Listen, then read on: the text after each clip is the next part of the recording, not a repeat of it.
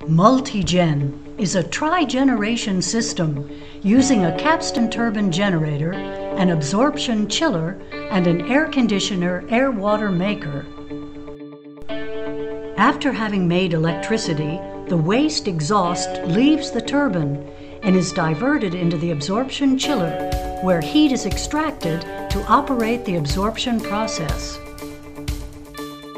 This process creates a cold 5 centigrade coolant, which is pumped to the air water maker and returned to the absorption chiller for recooling after the heat exchange process. The air water maker, in turn, is processing atmospheric ambient air and collecting the moisture, and in the process is providing cool air suitable for air conditioning. This cool air is the byproduct and result of making water from the atmosphere. The water is stored for future usage.